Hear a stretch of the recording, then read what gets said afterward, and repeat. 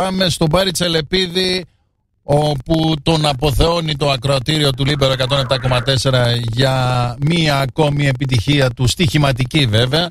Ε, στα ρεπορταζιακά, να το πω έτσι, τον έχουν συνηθίσει επιτυχίες στον Πάρη και στα, στα στοιχηματικά τώρα μετά το χθεσινό, όπου και μένα μου έκανε εντύπωση όταν έδωσε το διπλό έτσι τόσο εύκολα. Πάρη στο φιλικό του Τι Άρη. είναι Γιώργο μου, ότι δεν θα, δεν θα κερδίσει ο Άρης; Όχι, εγώ πίστευα ότι θα κερδίσει, ότι είναι καλύτερος, ας πούμε, και ότι θα παίξει και καλύτερα από τα προηγούμενα παιχνίδια. Και Και όμως... έβαλε και τους βασικούς ο Μπούργος Ναι. για να μην πάει κόντρα. Μόλις Ναι, άκουσα ναι. τι έδωσα. Ναι, ναι. Ρε Χέρμαν, είναι Και δυνατόν. τι έκανε Είναι ο δυνατόν. Χρήσανδος. Ο, Χρήσα- ο Χρήσανδος τι έκανε; Κανόνισε Τι έκανε το χθες που είχε τα αεροπλάνο. γενέθλια. Όχι, όχι. Κανόνισε το αεροπλάνο να πετάει τώρα που είμαστε στον αέρα μαζί για να μην είναι αυτός. Τίποτα τυχαίο. Μέσα στο Για να αεροπλάνο, γλιτώσει στα την καζούρα. σύννεφα είναι.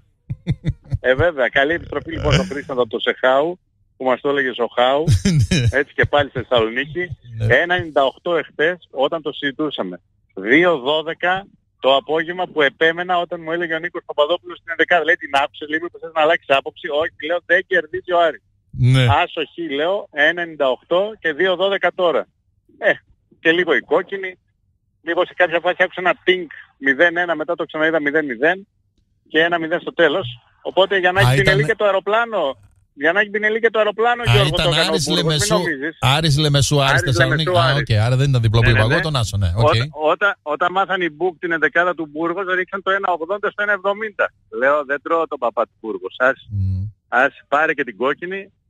Και αυτή τη φορά μόνο ένα ματσάκι μας ξέφυγε όσον αφορά το πώς διαβάσαμε τα φιλικά του Άρη και είναι το δίλεπτο, το 58-59 που έφαγε τα δύο γκολ στο πρώτο του φιλικό και τέλος καλά όλα καλά. Και μάλιστα μας βγήκε την κουβεντούλα που είχαμε με τον Νίκο Παπαδόπουλο το απόγευμα και το Άσ, ο Άσος με 7,5 πόντους αβάντζο της Ουκρανίας κόντρα στην Ισπανία κέρδισε η Ισπανία καταϊδρωμένη με ένα πόντο. Δηλαδή βγάλαμε την αποδοσούλα του Άρη στο 1,98 και 2,12 ανάλογα από ό,τι το πόνταρε κάποιος και 1,93 και την Ουκρανία.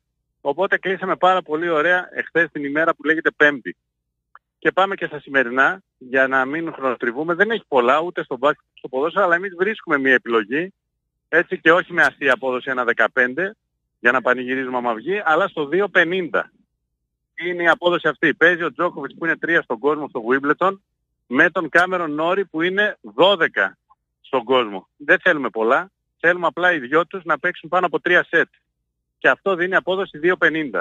Τόσο απλά. Προχτές ο Τζόκοβιτς μάλιστα το έκανε μεγάλη ανατροπή από 0-2-3-2. Ο Νόρι δείχνει Ναι. να βρίσκεται σε πολύ καλή κατάσταση. Έχει κερδίσει 4 παιχνίδια στην, ε, στη σειρά. Έτσι, να ταλαιπωρήσει λίγο ένα στον άλλον για να πάμε στα 4 σετ. Αν, το, αν μας δικαιώσουν θα πάμε σε απόδοση 2,50. Δεν έχουμε ούτε φιλικό του Άρη του Πάου για να ασχοληθούμε και να το απολαύσουμε και να το διασκεδάσουμε και να το συζητήσουμε. Γιατί άλλο τα φιλικά, άλλο τα επίσημα. Οπότε Έτσι. πάμε στο τέννις. Επαναλαμβάνω για το Wimbledon.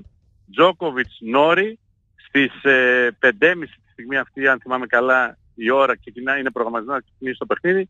Οι δυο τους να παίξουν πάνω από 3,5 σετ σε απόδοση 2,50. Και κάπως έτσι θα κλείσουμε και την ε, κουβέντα μας για αυτή την εβδομάδα. Οι δυο μας θα τα πούμε και το απόγευμα και με τον Νίκο Παπαδόπουλο. Γιατί ο Χρήσταντος δεν νομίζω να έρθει από το αεροδρόμιο κατευθείαν στο στούντιο να πάρει θέση του Νίκου να τον τσεκουράσει τέλος της εβδομάδας. Έτσι δεν είναι. Είχε και τα γενέθλιά του εχθές. Χρήστος θα έχει κανονίσει όλα. Να είναι γεννημένος 7 Ιουλίου, 7 Εβδόμου. Να το γράφει όπως θέλει. 7 Εβδόμου. Έτσι. Μπράβο το Χρήσταντο. Μπράβο τον Χρήσανθο. Αυτά τα ωραία. Λοιπόν, να σε καλά, Παρή. Ευχαριστούμε. Καλό απόγευμα, καλό Σαββατοκύριακο και Γεια, χαιρετώ. γεια, επίσης, επίσης.